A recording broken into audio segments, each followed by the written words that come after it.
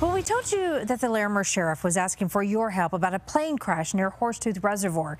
Now we know why. This plane was just feet off the water. Look at that. Dylan Thomas covers everything Northern Colorado for us. Dylan, you got to meet the woman who actually took those photos. Yeah, Karen, it's not that common when a plane crashes to have the local sheriff's office requesting for the public's help getting pictures and videos of what led up to that crash. But after our report yesterday highlighting that's exactly what they did, several people started submitting their pictures and videos to the sheriff's office. I met one of those people, and her video and pictures are absolutely clear. And they're also now being submitted to the FAA for the investigation.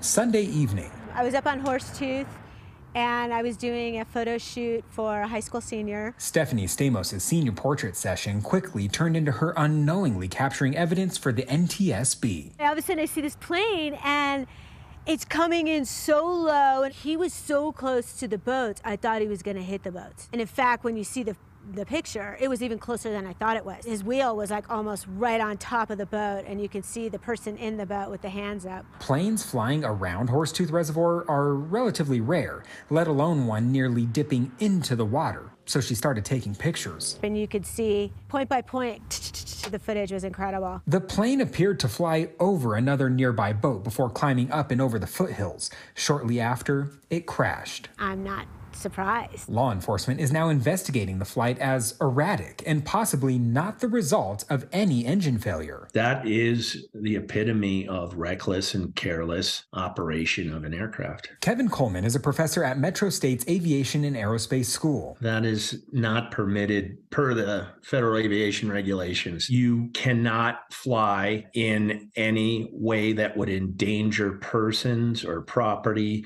on the ground if you were to lose the engine. So it's it's an utter danger to those people in the boat and the people on the aircraft. Stamos said after witnessing it all, she feels the pilot put others' lives in danger. Oh, he's just being an idiot. You know, he's just flying close to the water to scare people.